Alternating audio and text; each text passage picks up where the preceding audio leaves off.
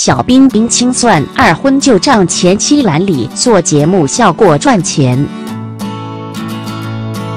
三十九岁小彬彬温兆宇曾有过二段婚姻，生三个孩子。小小彬迷你彬，萌萌彬。他和第二任妻子陈义君二零一七年离婚，双方闹得不愉快。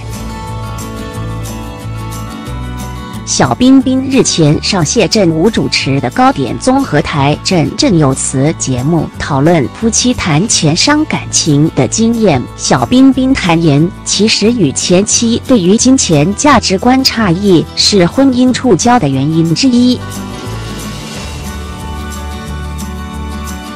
小冰冰过去新婚时期宠妻不手软，还办了张副卡给女方使用，甚至当时从中国工作返台，一组八万多元的化妆品都不眨眼，直接花下去。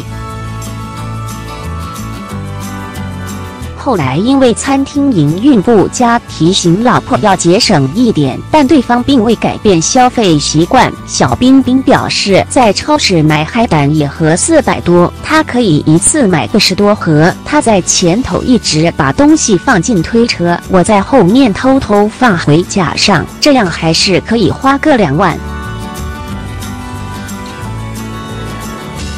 对小冰冰节目上的控诉，陈义军、小军金回音苹果，无奈表示，他就为了节目效果，每次都讲得比较夸张，然后把矛头都指向我，根本没这些事情。但他已习惯，反正他为了节目做效果赚钱，爱讲去讲吧，我是无所谓，反正我现在过得很好，不忘强调，海胆我才不会一次拿十盒。根本吃不完，我才不是疯子，我顶多最多拿五盒，那是因为玄烨小小兵爱吃。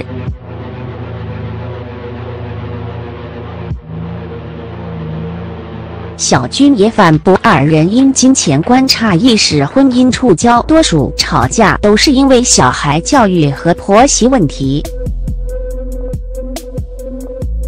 小彬彬还在节目上透露，和小军结婚前曾带他跟妈妈见面，当时签订婚前协议书，第一条是二年内不要生小孩，第二条是五年内不能离婚，第三条若到时离婚，财产要留给小小彬。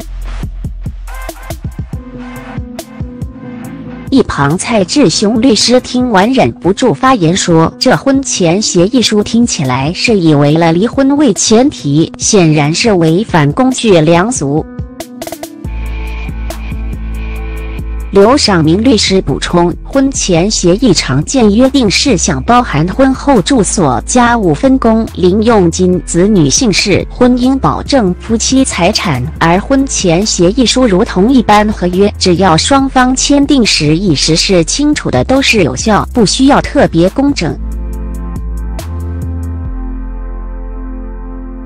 主持人谢振武律师说：“其实，在台湾要签婚前协议书不容易，只要对方提出要先签订婚前协议书，都会觉得对方是不是图自己什么，因此台湾夫妻比较少主动签婚前协议书。”